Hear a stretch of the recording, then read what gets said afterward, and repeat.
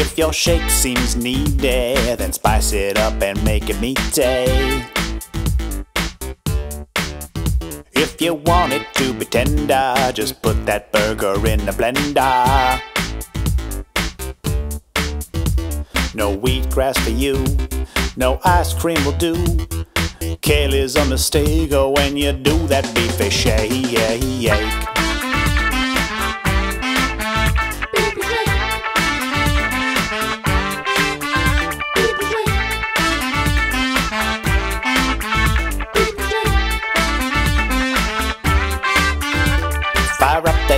Cuisinart and puree yourself a bloody beef heart. Shake, shake that beef. Whether bull, calf, or cow, just shake it up right now and shake. Shake, shake that beef. No wheatgrass for you, no ice cream will do. Kale is a mistake oh, when you do that beefy shake.